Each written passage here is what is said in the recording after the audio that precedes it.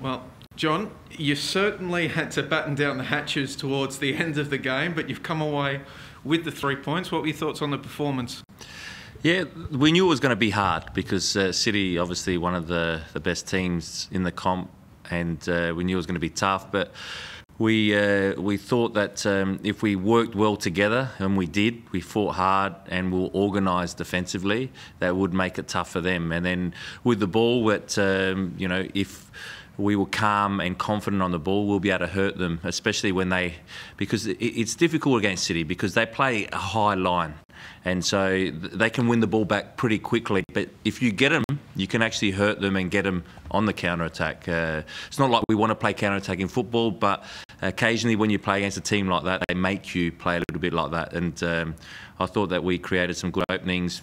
Dylan took his goal well, and in the end, I thought it was a, a very good performance, especially that uh, how hard the boys worked. What does this do for this group, John? It very much feels like a statement. I mean, does it feel like a statement win to you, and in terms of building confidence, kicking into the rest of the season? It's it's nice to win. It's also very nice to win a, a, derby game. You saw our supporters after how excited they were, and, and our players because it's, it's been tough for them um, over a, a, period. So uh, it, it feels like you know that we're on the right track. There's a lot of improving to do, and we will improve a lot more. So that, that, that's that's a positive. It, we know that we need to pick up points now because we'll get stronger as the season goes on. We've still got players to come in. Um, the players that are, are starting are, are, doing well, and we know that we'll get better as the season goes on. So that, that's a positive. The, the biggest thing for me is, uh, and uh, you know, our football will get better with the ball, but you know, they, they defensively, the Western United conceded a lot of goals last year. We've haven't conceded from open play in the four games we've played. So that's that's a massive plus. And people talk about the back four, about the goalkeeper.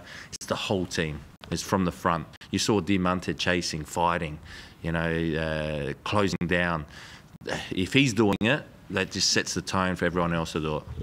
Uh, speaking of that, how much of a difference do you think Dylan Wenzel Hall's made in that respect, allowing yeah. you to defend from the front? Yeah, Dylan was uh, tremendous. We, we, worked a lot with Dylan in pre-season because uh, you know it was something that he needed to improve on in his game. Um, we know how good he is in front of goal and what he can do and, and finish. Uh, and so in pre-season we worked with him in terms of you know when to go, what triggers that he needs to go on, um, when he needs to drop in and, and get compact again. Uh, so because you know Brisbane Roar play a little bit different to the way we want to play. So uh, I thought that he was outstanding. It, it, it's it, how can I say he's a pain for a defender, and that's what you want from your striker. I was going to use other words, but I thought I'd better not. Just on the defensive front, obviously City tried to get the ball down the flanks and cross the ball in a lot, but it also looked like a lot of the time you were setting up the, that you were sort of giving them pockets well outside the area where you felt that they would be happy to shoot from, and you were quite happy to let them shoot from there because you could get bodies in the way. And obviously, Jamie Young's a top goalkeeper as he showed tonight. Was that something you identified coming in, funneling them into those sort of areas? So, so what we didn't want it was, and they did it a few times, uh, straight long balls over the top that actually hurt us a couple of times, which we we can do we can defend that better. Um, and because once they get their wingers one on one they can actually hurt you because they're, they're top wingers. They're, they're Australian international. So we didn't want to be left with our fullbacks 1v1 on a lot of occasions. So you know then you double up with them and, and uh, allow them. If, if they're shooting from outside the box we fancy that Jamie Young and we will get pressure on the ball that it's a forced shot uh, so they didn't really have too many clear chances inside the box. And you know, if you can do that against a side like City, where you know, then your your actual structure is pretty good. So at times we could have uh, defended a little bit better on a few occasions, but the majority of the time we did it well. You mentioned how defenders as a team, but you can't help but talk about Leo and Tomoki and how they play, but especially Leo in terms of what he does defensively, but also in terms of leading from the back. How important is that when you've got someone like Leo as like that linchpin in the heart of the back four? He's a presence. We spoke about how much of a presence that he will be before he uh, he started playing. You know, the people asked what type of player is he. I said he's he's a defender that's got a presence on the field. And, um, and not only uh, without the ball when he defends and puts his body on the line, but with the ball he's got a calmness. So he wins the ball when he's able to travel with it if he has to, or pick out a pass. And um, you know that that goes uh, a long way because that that you know relieves pressure when you're you're defending for a long period. So yeah, he, he was good, and Tomoki was great as well because you know I took Tomoki off at half time last week. That showed good character you know, that, that he ended up performing like he did. So very pleased for, for them too, but pleased for the whole team. You spoke about how you don't like set up planning to play counter-attacking football, but kind of ended up with it as, as the game went on tonight. Did you find that that almost kind of played into your hands in the way that Lachie Wales and Connor Pain were able to use their pace to, to really provide that threat, uh, along with Diamanti, obviously? Was, was that kind of a, a, an incidental positive that came from the way the game played out? Uh, uh, not an incidental positive. It was more that uh, we've practiced that when teams sit off of us, how we should play. When teams press us, how we can play. And uh, when you've got pace, uh, it's a risk for opposition to play that way. But were chasing the game and they wanted to play that way, and uh, and you know we were able to catch them out on a few occasions. So we know that we can we can switch it up if we need to. Uh, so you know it. Um, that's what happens when you take the lead sometimes. You know, team needs to come out a little bit, and we've got the players like Lachie, Dylan Wenzel Halls, and uh, and Connor Pain that can cause problems. They weren't only causing problems in behind, they also got into good areas, good pockets to pick up the ball, that they were the first outlet for us. Speaking of uh, preferring not to play on the counter in transition, and given the complexion tonight, and given the fact that only one team has won a game this season with more possession, how much of that is, is a league-wide trend? Uh, that's a good question. Sometimes it, it, it's funny because you, you know, look, we. Uh, look, I don't think that it's just because it's a, you know who's got more possession is going to win the game or who's got less possession is going to win the game. Uh, I think that's what you do with possession and uh, and how you use that possession. You know, sometimes we felt that we we, we forced it a little bit too much on occasions because uh, it, it, wasn't the right time to force it. So we could have kept the ball a little bit more. But um, yeah, it, it, it is a little bit sometimes, uh, you know, the way the league is going at the moment, it looks like majority of the teams that have got less possession are winning. That can easily change very quickly. Okay, so in situational terms, what do you think the team was forcing? What were they forcing? What did you think the players were forcing? In what situations did you think they were forcing? Oh, there's certain moments that where we could have kept the ball when we weren't able to get in behind them when they dropped pretty quickly. That we could actually kept the ball in their their attacking half or our attacking half. So then we can control the game a little bit better. Um, you know, but that, that, happens sometimes because we know that it's a, it's an out for us. We know that there's there's an opportunity for us to attack, and then uh, and then you know if it doesn't eventuate, let's just keep it. You know, it's it's not a, a, negative. I'm not talking about negatives. It's talking about players understanding. You know, we've been on, on the back foot for a little bit. All right, maybe it's not the time to go and get them. Maybe it's the time to just keep it a little bit longer. Just following up on one part from your previous answer, John, when you talked about it's not whether you have more of the ball or less of the ball. It's what you do with it when you've got the ball. Does that stat one only one team winning this season with more possession? Does that maybe infer then that there's a league-wide trend that A-League men clubs aren't to flash when they get on the ball then if that if just following along with your train of logic as of yet uh, I don't know. I, I really don't. It's you know, to be honest, I'm not looking at the trends too much because I'm trying to focus on my my team and what we can do and do better, and uh, how we can improve even more. But yeah, I don't want to go off on trends. That that's more your job to do. Fair enough. um, on the subject of you've got a game coming up very soon can I imagine after going almost pretty well playing a full game, Diamanti's not going to back up and play on Tuesday. But how many other rotations should we expect from your side coming up midweek? A lot.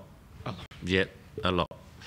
Look, we want to win every game, and and it's not to dismiss the FFA Cup as uh, not important but we also got other players that haven't started games and they they deserve an opportunity and and, and we want to see them as well and, and see how they, they cope you know with the pressure of an actual official game and uh, and we believe in them and also we have to be careful because you know we didn't have a good preseason in terms of the, the COVID situation so we didn't have a lot of friendly games to play so we weren't able to like play every three days to test our body.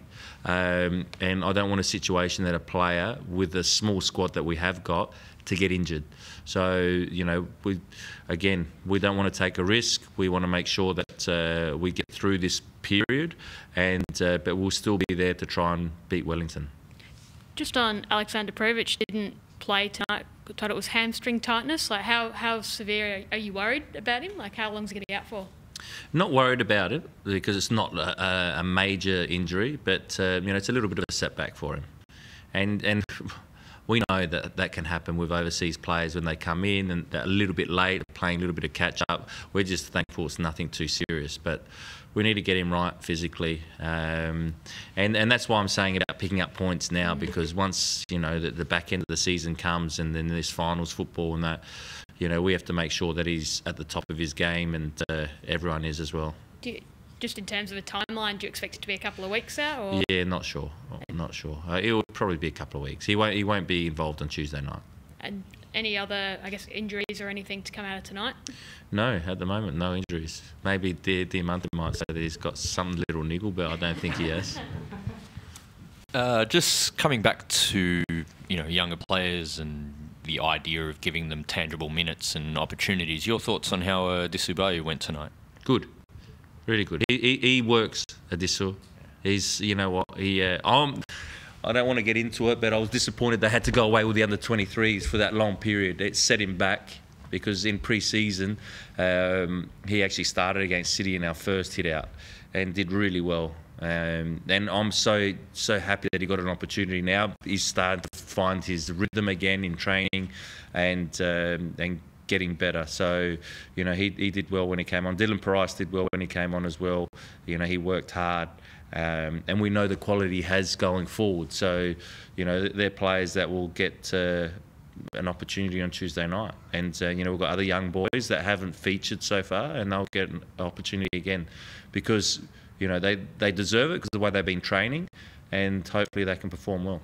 Just to bounce off that, I think we saw it with, with Melbourne Victory as well the other night with the timing of these FFA Cup games. How important is it also beyond rotating your squad to maybe get some? I, I suppose they are sort of cutthroat minutes for some of these young players. You know, must you know games they got to win. They're elimination games. Like, what does it what does it do for them? Oh, it's, it's great. It's really important because uh, when we need to throw them in against the Melbourne City, uh, you know they, have experienced it and they've experienced. You know, so it's one thing talking about a friendly game in pre-season. There's another thing talking about you know an FFA Cup tie where it's cutthroat, where it's uh, you know everything on the line really on that one-off game, um, and that's great for young players and that's great for the players that haven't been playing. Um, so you know it's important because we're going to need them. We will need them this season. It's we've been around the A League long enough to know that it's uh, your squad's important, and uh, and it gives them a, an opportunity to show that the, you know when they are um, needed, and for them that they're confident to go in and do well. Uh, just going back to so when you're talking about the different kind of game styles that your team can play depending on what's needed in the moment. Wenzel Halls as opposed to Prijovic, they obviously kind of are fighting for a similar position. Can we expect to see which of those uh, which of those are playing to reflect kind of the game plan heading in? Will there be different game styles depending on who, who, who you've got up front leading the line? Oh, look, it will. Um, it will depend on who's available first, and uh, I've said last time they can play together as well. So, and, and that that can happen.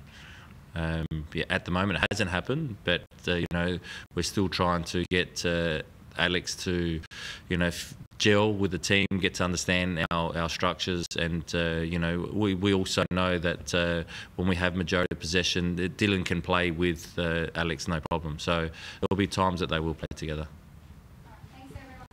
Thank you.